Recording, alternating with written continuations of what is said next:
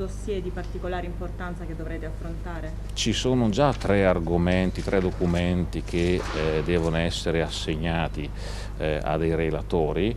Eh, martedì discuteremo a chi assegnarli anche perché vengono per presse assegnati a un relatore di maggioranza e a uno di opposizione eh, e quindi senza nessuna preclusione verso alcuno, verso alcun gruppo, lo sottolineo, martedì decideremo quali di questi tre, cioè a chi assegnare questi tre eh, documenti e quali relatori nominare.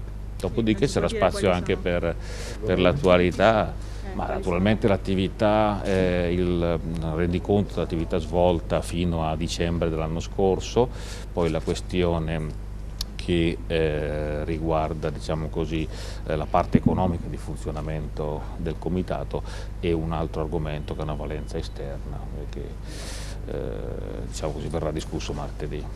Comunque documenti su cui, buoni su cui iniziare eh, diciamo così, a, ad esercitarci sapendo che si tratta di questioni delicate, quindi partendo mi auguro con il piede giusto.